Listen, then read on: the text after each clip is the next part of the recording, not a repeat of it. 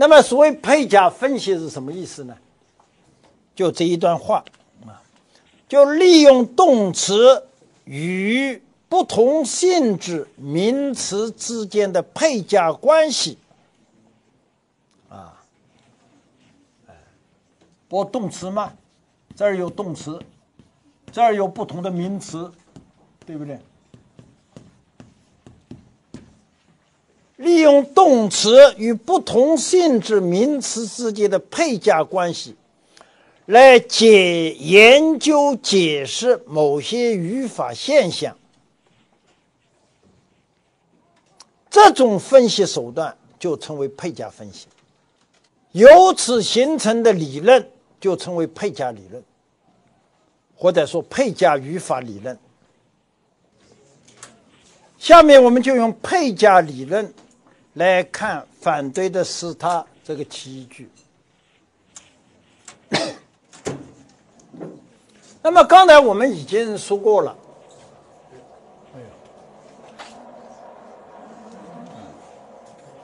我们说反对的是他这个句子说有其，就因为反对的本身就有其，对不对？反对的它有其，反对的它可以指实事，可以指受事。那么反对的为什么会有其？这我们就需要从配用配加的理论来观察它，来考虑它。那么现在我们看到，反对本身是个动词，对不对？它是一个动词。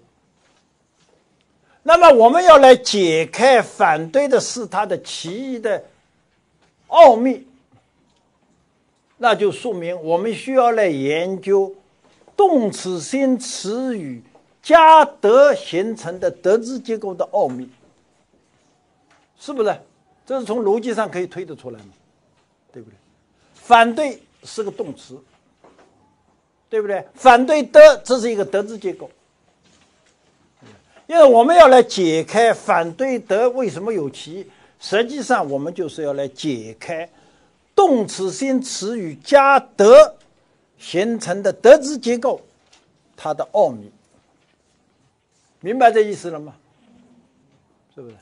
因此，下面我们就的实际上就要来研究 VP 德汉语里边 VP 德这种德字结构。因此，下面我们就来讨论 VP 德。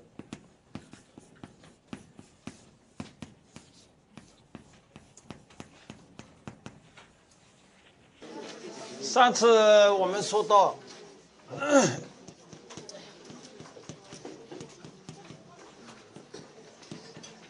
我们说反对的是他有歧义，为什么有歧义呢？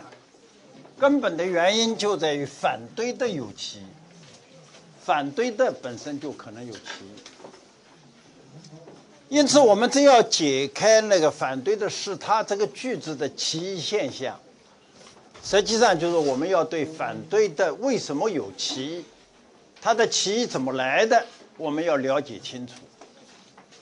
那么反对呢是一个动词，是吧？那么朱德熙先生呢？他是我的老师啊。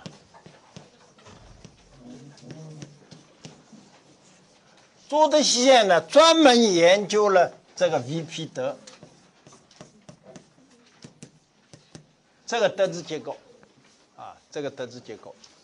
也就是说，我们要解开它的谜，那么实际上就是我们要了解 VP 德是个什么情况啊。那么上次我们已经讲了，这个 VP 呢。它包括那么一些情况，就是一种是单个动词，对不对？这个上次都已经讲过了，我再重复一遍啊。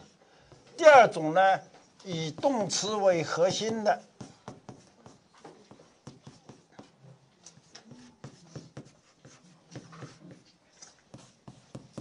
各种词组。所谓以动词为核心的各种词组呢，比如说动宾词组、动补词组、状语和动词的这种偏正词组，是吧？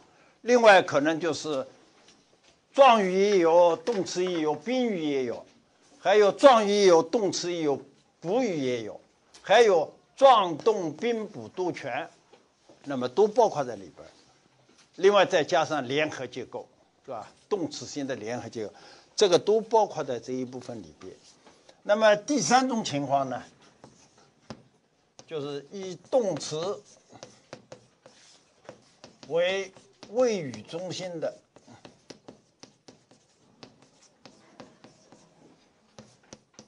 主谓词组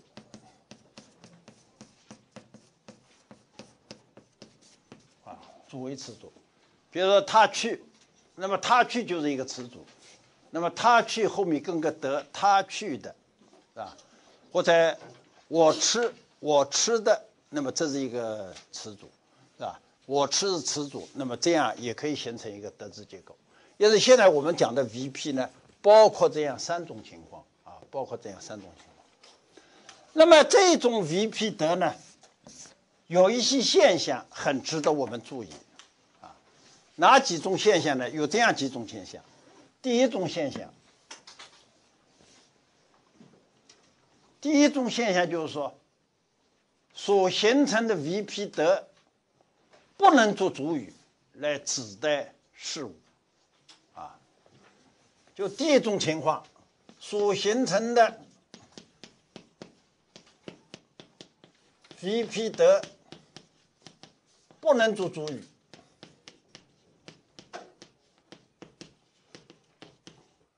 来指代事物，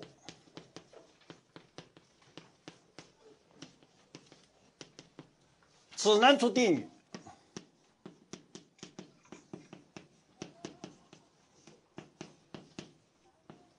这是一种情况，啊，比如说我们举例子来说，比如说张三游泳的，张三游泳的。张三游泳，这是一个 VP，对不对？这是一个 VP，带上一个德，那么这个就是一个 VP 德。那么这种 VP 德呢，它只能做定语，比如张三游泳的时候，张三游泳的地方，当张三游泳的姿势，可以，但是你不能说张三游泳的怎么怎么怎么，你就不能这样做。这是一种情况。第二种情况。所形成的 VP 德可以做主语来指代事物，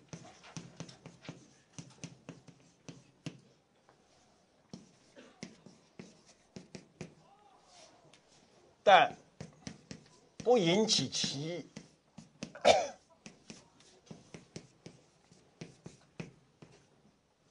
不引起其，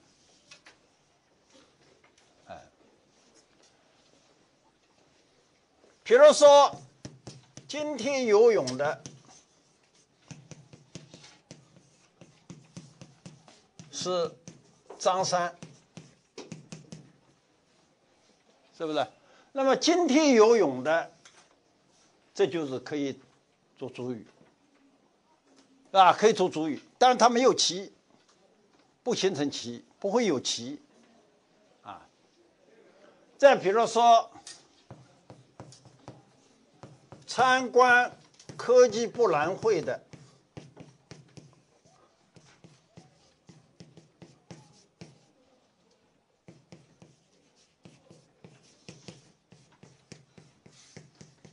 是北大学生。这个也没有提，那么参观科技博览会的这个就是一个 VP 德，啊，那么它做主语，可以来指代人，对不对？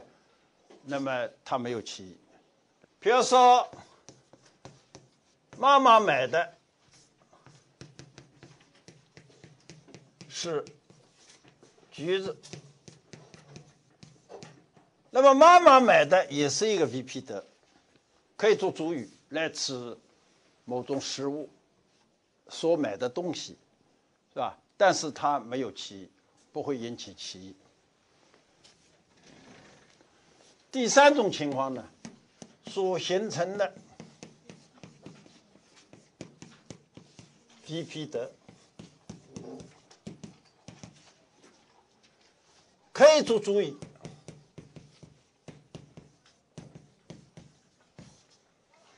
但可能会引起歧义。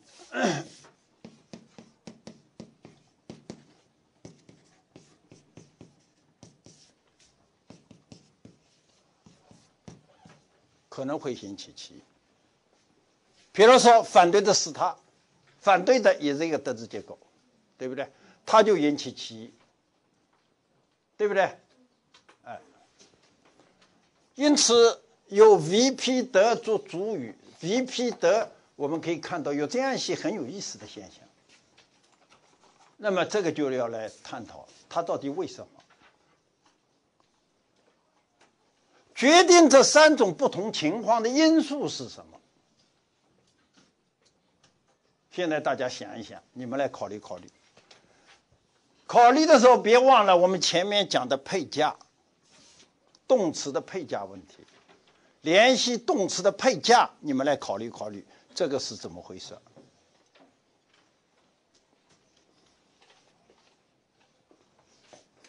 大家想一想好吗？想一想以后来举手，还是举手？明白这问题吗？就是为什么出现这三种不同的情况？决定这不同情况的因素是什么？那么我刚才提示了，你们来考虑这个问题的时候，要联系前面我们讲过的动词的配加问题，对不对？动词有加的问题，有一加动词、二加动词、三加动词。那么刚才讲的这一个情况，怎么来看待？就是决定的因素啊。现在决定因素啊，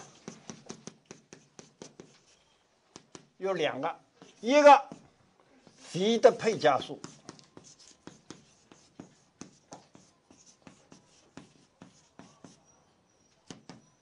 就这个动词到底是几加动词？是一加还是二加还是三加？v 的配加数。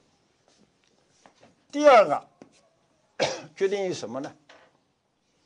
就出现在 VP 德里的 v 的价成分的数目。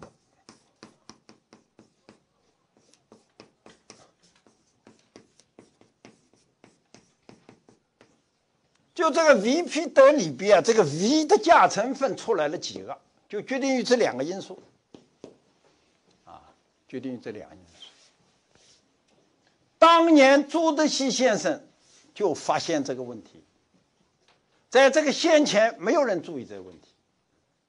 朱德熙先生在七十年代文化大革命结束以后，这个中国语文上发表的文章。德字结构和判断句，他就发现了这个问题。因此，朱先生因为发现了这个问题，因此他提出了一个 VP 德奇指数公式，可以做成一个公式，像数学公式那样，可以进行计算。下面我们就来介绍一下朱德熙先生的奇指数公式。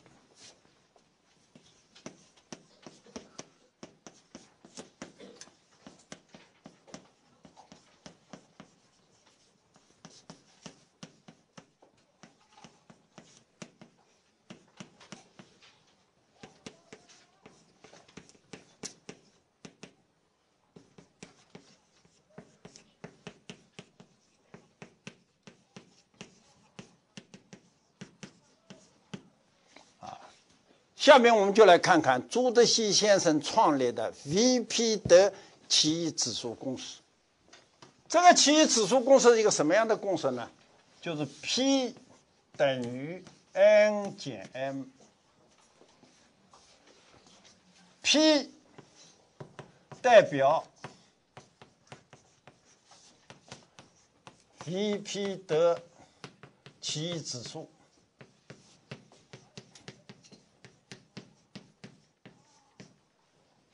大家注意，这儿所谓的奇异指数，就是指的这三条，就指的这三条，就是有的 Vp 德不能做主语，只能做定语；有的 Vp 德能做主语，不会有歧义；有的 Vp 德能做主语，可能会引起歧义。这个所谓奇异指数，就是指的这个。那么 n 代表什么呢？n 代表动词 v 的配加数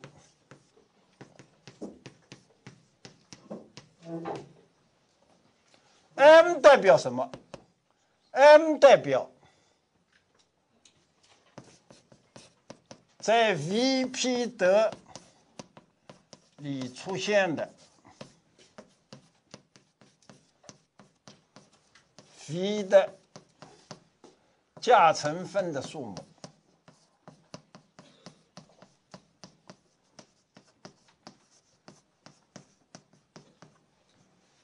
啊，现在我们就来看，我们就来算一下。